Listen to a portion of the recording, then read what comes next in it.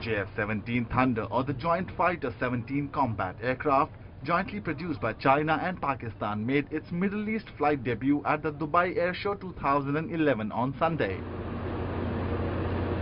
The jet developed jointly by Aviation Industry Corporation of China and the Pakistan Air Force is being offered at aggressive discounts to compete with Western rivals.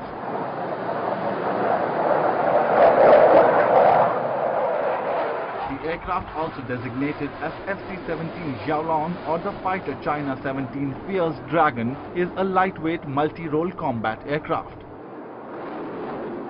I think JF-17 is an excellent aircraft with uh, excellent handling qualities. It is very easy for the pilot to manage this aircraft in combat because of its uh, displays and HOTAS controls and its interface with the pilot which is very modern and latest in the world. The combat jet has managed to get the attention of prospective buyers. After all, you can buy three JF-17s for the price of one F-16. I think it was a great airplane. And I want to really see it again tomorrow. And I will watch it very carefully. More than 1,000 aviation companies from over 50 countries and regions are attending the Dubai Air Show 2011, the biggest aviation event in the Middle East.